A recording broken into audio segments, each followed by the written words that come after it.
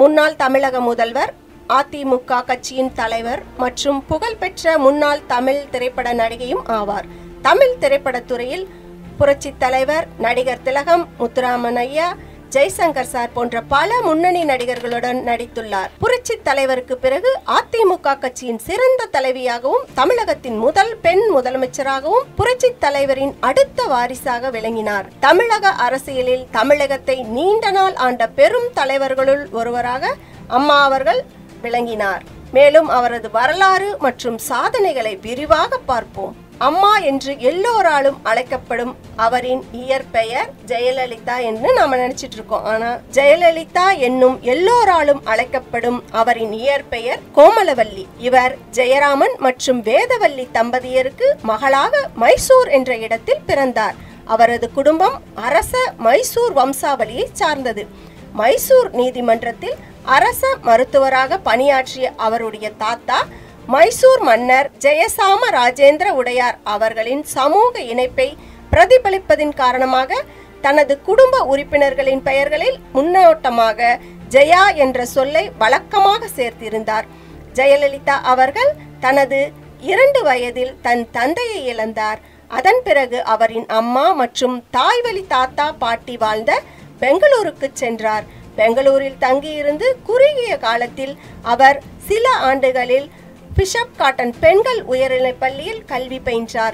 வெள்ளித்திரையில் அவரது தாயாருக்கு நடிக்க வாய்ப்பு கிடைத்ததால் அவர்கள் சென்னைக்கு குடியேறினர். சென்னையில் உள்ள சர்ச் பார்க் பிரசிடென்ட்ஸ் கான்வென்ட் தனது கல்வியை தொடர்ந்தார். இவர் பின்னர் ஸ்டெல்லா மேரிஸ் கல்லூரியில் தனது பட்டப்படிப்பை முடித்தார்.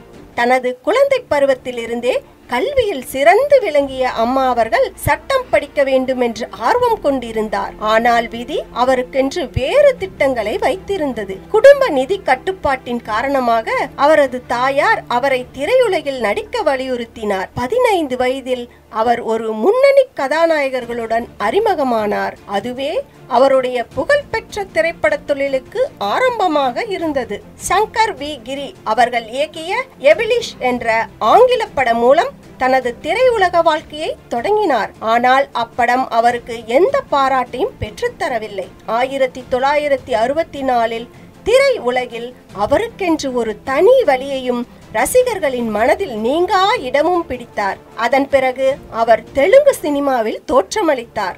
அடுத்தடுத்து ஆண்டுகளில் அவர் பல தமிழ் படங்களில் நடித்து தனது நடிப்பு திறமையை வெளிக்கொண்டு வந்தார்.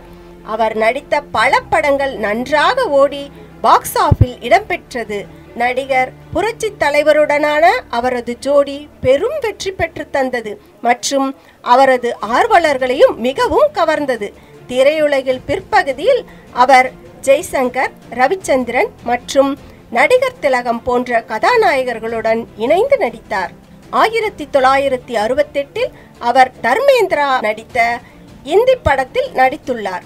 அரசியலில் சேரும் முன் தனது திரையுலக வாழ்க்கைக்கு ஒரு முடிவையும் தந்தார். அவரது கடைசி மோஷன் பிக்சர் படமான ஆயிரத்தி தொள்ளாயிரத்தி எண்பதில் வெளியான நதியை தேடி வந்த கடல் இருந்தது. அஇஅதிமுக நிறுவனரான புரட்சி தலைவர் அவர்கள் அம்மா அவர்களை பிரச்சார செயலாளராக நியமித்தார். நான்கு ஆண்டுகளுக்கு பின்னர் அவர் மாநிலங்களவைக்கு நியமிக்கப்பட்டார். அதுவே அவரை திறம்பட இந்திய பாராளுமன்றத்திற்கு செயல்பட வழிவகுத்தது. பின்னர் அவர் தீவிரமாக அஇஅதிமுக அரசியல் கட்சி உறுப்பினராக ஈடுபட்டார். அவர் அரசியலில் புரட்சி தலைவர் கட்சியின் சார்புடையவராக திகழ்ந்தார். அதுவே அம்மா அவர்களை அஇஅதிமுக கட்சியின் எதிர்கால வாரிசாக ஊடகங்களை மதிப்பிட செய்தது. புரட்சி தலைவர் அவர்கள் தலைமை அமைச்சராக பணியாற்றிய பொழுது அம்மா அவருடைய அரசியல் கட்சியின் செயலாளராக இருந்து தன் தீவிர பங்கை வெளிப்படுத்தினார்.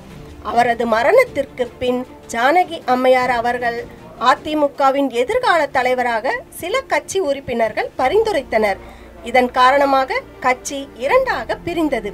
ஒன்று ஜானகி அம்மையார் தலைமையிலும் மற்றொன்று அம்மா தலைமையிலும். எனினும் ஆயிரத்தி தொள்ளாயிரத்தி எண்பத்தி எட்டாம் ஆண்டில் அவரது கட்சி இந்திய அரசியலமைப்பின் முன்னூத்தி ஐம்பத்தி ஆறின் கீழ் தள்ளுபடி செய்யப்பட்டது. பல குற்றச்சாட்டுகள் சர்ச்சைகள் இருந்தாலும் அவர் மூன்று முறை மாநில சட்டமன்ற தேர்தல்களில் வெற்றி பெற்று தலைமை அமைச்சராக பொறுப்பேற்றார். மாநில மக்களின் மீது அவர் கொண்ட பற்று செலுத்திய பங்களிப்பு அவரை மூன்று முறை ஆட்சிக்கு வர செய்தது.